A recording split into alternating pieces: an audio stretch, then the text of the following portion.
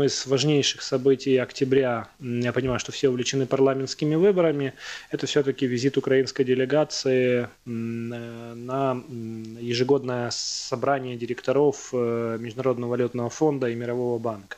Не секрет, что в 2014 году именно эти организации, в первую очередь МВФ, являются так называемыми кредиторами последней инстанции для Украины, на которых ориентируется мир. Если вы помните амбициозную программу украинского правительства весной 2014 года, именно тогда была а, оценка, что Украина сможет за вот ближайшие два года, за 2014 и 2015, привлечь сумму эквивалентную 35 э, миллиардам долларов, что, в общем-то, с лихвой э, покроет э, тот двойной дефицит, который издавна наметился в украинской экономике. Ситуация, безусловно, ухудшилась по, в общем-то,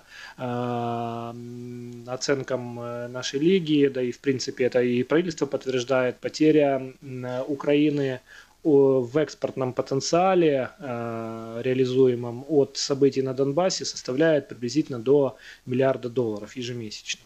Соответственно, мы прекрасно понимаем, что вот если считать, начиная с событий июля-августа до конца года, эта сумма составляет не менее 5 миллиардов долларов. Это те дополнительные потери Украины, которые есть. И как, собственно, уже признали и министр финансов Шлопак, и глава Национального банка Гонтарева, они ездили в Вашингтон о том, чтобы просить увеличить в целом программу стендбай. На мой взгляд, э, сейчас э, эм, э, международное сообщество в отношении Украины не то чтобы взяло некоторую паузу, но оно по большому счету лишний раз подтвердило то, что оно будет э, выполнять те обязательства, которые были взяты на себя ранее.